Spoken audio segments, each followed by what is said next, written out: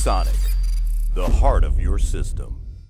Hi guys, it's Silas from KitGuru, and today I'll be taking a look at a pretty monstrous 360mm AIO cooler from Thermaltake, uh, the Thermaltake Water 3.0 360 ARGB Sync. So let's kick off with the basics. As the name suggests, the 360 refers to a 360mm radiator, and the ARGB, well, addressable RGB lighting. Pretty self-explanatory really. The sync refers to software compatibility for the Water 3.0 360 uh, with current motherboard software and it's great to see that the Water 3.0 supports Asus Aura Sync, Gigabyte RGB Fusion, uh, MSI's Mystic Lighting Sync and ASRock's Polychrome software. Uh, so as long as your chosen motherboard supports a 3-pin addressable RGB header, you're basically covered. Priced at £158.99, with a bit of browsing there are some equivalent 360mm coolers uh, available for a little bit less, maybe a bit closer to the £110 mark, uh, but it'll be interesting to see how the additional £50 is justified, uh, whether with features or from sheer performance. So let's take a look at the kit. The box, as expected, pretty vast considering the radiator size, and in the box we get some installation instructions, a large bag of mounting hardware for current Intel and AMD bounce, a bunch of additional cables and adapters for connecting up the 3-pin fans, as well as all of the lighting, and of course, three 120mm RGB fans. The fans in question are Thermaltake Pure 12 ARGB Sync radiator fans, uh, which feature a 9-blade design and between 500 to 1500 RPM. Along with anti-vibration rudder mounts, each fan features a separate daisy chainable connector for lighting and a separate 4-pin PWM connector. Both cables are also coated in a black kind of rubber heat shrink-like tubing, uh, which definitely helps with a cleaner aesthetic. One point to note is that a set of just the three fans uh, with a controller included, it is available for roughly 40 to 50 pounds, uh, which kind of does seem to justify the price of the Water 3.0. Taking a look at the cooler itself, for those who have any experience with older Corsair coolers, um, it's a pretty standard Asetek affair.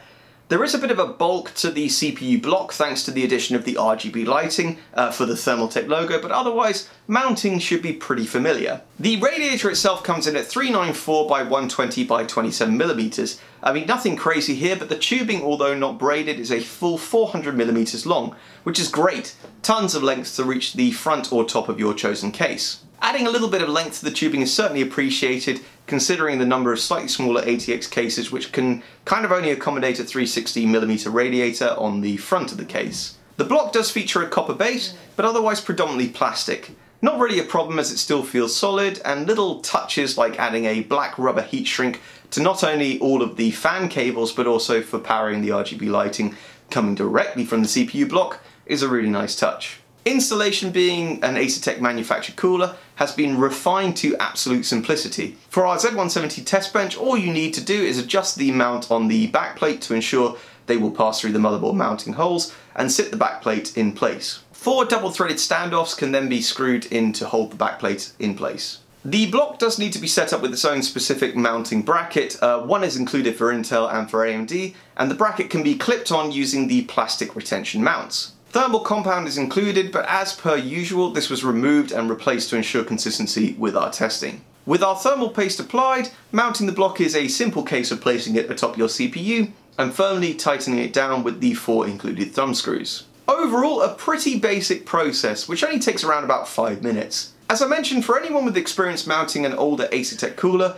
the process is basically the same. Connecting up lighting does take a little bit more attention, um, included with the Thermaltake Water 3.0 360 is not only a SATA powered controller, uh, but also two adapters for syncing lighting being your motherboard's ARGB header. As our test board doesn't support this, I elected to use the controller. Each fan features a male and female proprietary connection for the RGB lighting, uh, so they are daisy chainable, which is really good if you're looking to expand by adding additional Thermaltake fans. For lighting, you just need to connect the fans together along with the ARGB cable coming directly from the CPU block. A 3-port 4-pin PWM adapter is included to connect all of your fans to your CPU fan header, and there is a separate 3-pin fan cable for powering the Water 3.0's pump.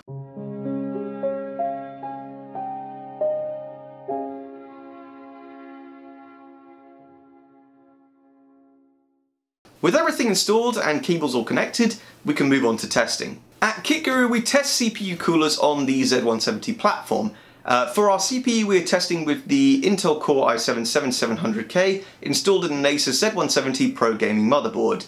Uh, for RAM, we have a single 8GB stick of GeIL Evo X RGB uh, running at 3200 MHz, and storage is handled by a 120GB Samsung SSD Plus. Powering our bench is a Seasonic Prime Platinum 650W PSU. When testing, we take a number of readings with the i7-7700K's turbo locked, uh, overclocked to 4.5 GHz and also 5 GHz to really push those thermal limits. The temperatures taken are delta T values, meaning we subtract the ambient temperature from the CPU temperature. More details of our full testing methodology can of course be found on kitguru.net. And on to the results. Starting with our 4 GHz stock profile, uh, performance as you would expect, pretty outstanding for such a large cooler, even surpassing the next closest option, the Asus ROG Raijin 360. If you're not looking to overclock, you can sit safe in the knowledge that the Thermaltake Water 3.0 360 ARGB will keep your CPU very frosty, but realistically, you're going to be installing this cooler with an intention to reach some higher speeds. Uh, so let's move on to 4.5 GHz. At 4.5, still great performance, only really being outpaced by the H100i from Corsair, but still, the Water 3.0 takes silver medal. Again, to some extent expected from a much larger radiator cooler. Impressively, the Water 3.0 is still running ahead of its closest competition, the Raijin 360, by a couple of degrees or so. Not a huge amount between them, uh, but when considering the difference in cost, it's actually pretty impressive. Ramping up to 5 GHz, little changes, although the Water 3.0 360 ARGB does move into third place, dropping behind the Raijin 360 for the very first time. Part of this could be attributed to the Raijin's additional CPU block fan, which is kind of intended to help with VRM cooling, but will of course have some impact on the CPU itself and potentially the surrounding area. This being said, although we do have some quieter coolers tested, the Water 3.0 360 still offers some pretty reasonable acoustics, uh, kind of middle of the pack, which is understandable considering the extra fan installed. Although the Raijin found itself ahead in our 5 GHz testing, the trade-off is much more noticeable audible noise. Overall a solid option for heavy overclocking, but without too much of a trade-off in the noise department. So the cooler's build is solid and has good support for even much larger cases, uh, and performance kind of, as expected, improves over a 240mm or even a 280mm cooler, but one of the core features of the Thermaltake Water 3.0 is its lighting, so let's take a look.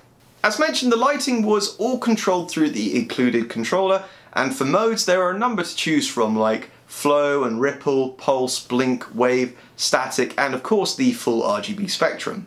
The controller also gives you some options for speed and colour transitions, and colour in modes like static and pulse as well. Transitions, thanks to the addressable nature of the RGBs, are really nice and smooth and pretty seamless actually. There definitely is a bit of a wow factor considering the sheer number of fans and therefore LEDs you are installing. One pretty cool option I came across hidden in the single colour modes like static and pulse is still a full RGB colour range that kind of follows those selected modes. You can essentially have a full rainbow of colours pulsating on and off or staying completely still, Perfect for those who like the full kind of RGB effect without shifting from colour to colour. Lighting was basically exactly what I expected. Easily enough modes and colours to keep you happy with the included controller, and of course with support for basically every motherboard manufacturer's RGB sync lighting software as standard, there is always the potential to connect the cooler directly to your motherboard's internal header. So to summarise, at the end of the day the Thermaltake Water 3.0 360 ARGB sync actually lived up to my expectations.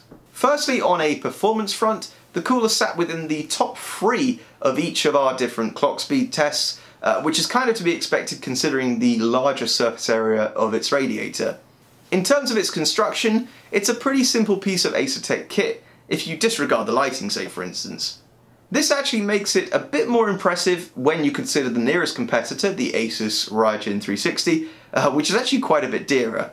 Clearly, from our testing, it's going to do a really good job of keeping your CPU cool, even if you are overclocking. Lighting also works really well and is as kind of fully RGB as you would want. And even when not connecting to the motherboard's header and configuring through software, the included controller offers a bunch of modes, even some pretty unique ones. In terms of value for money, the £158.99 pence Uh, it may seem a little bit steep considering there are some cheaper 360mm AIO coolers available, but when you add on the three RGB fans and their controller, if you're looking for a large addressable RGB cooler to deal with some significantly higher temps, the Thermaltake Water 3.0 360 ARGB Sync is actually a pretty balanced option. But let us know what you think in the comments. Um, just as with AIO coolers when they very first emerged, uh, we are seeing not only better support with cases for 360mm radiators, uh, but also more of them reaching market. Would the added performance benefits of a larger radiator size outweigh the added cost, or would you be happy sticking with a more traditional, say, 240 or 280mm radiator? Make sure to leave a like if you enjoyed this video, or even a dislike, it's a little bit less fun, and feel free to hit subscribe if you would like to see more videos from KitGuru. If you want to be alerted when new videos are released, click the bell icon below. I've been Silas from KitGuru, and I will see you in the next one.